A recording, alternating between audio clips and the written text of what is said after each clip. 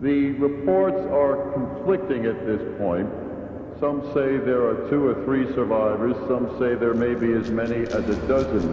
Still, a lot is not known about this. About this.